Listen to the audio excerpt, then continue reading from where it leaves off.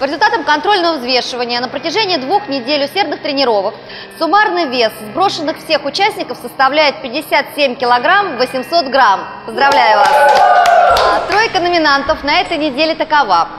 Это участники, которые сбросили наименьшее количество килограмм, либо их вес остался прежним.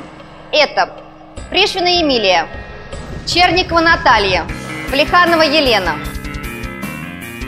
Стыдно, очень стыдно.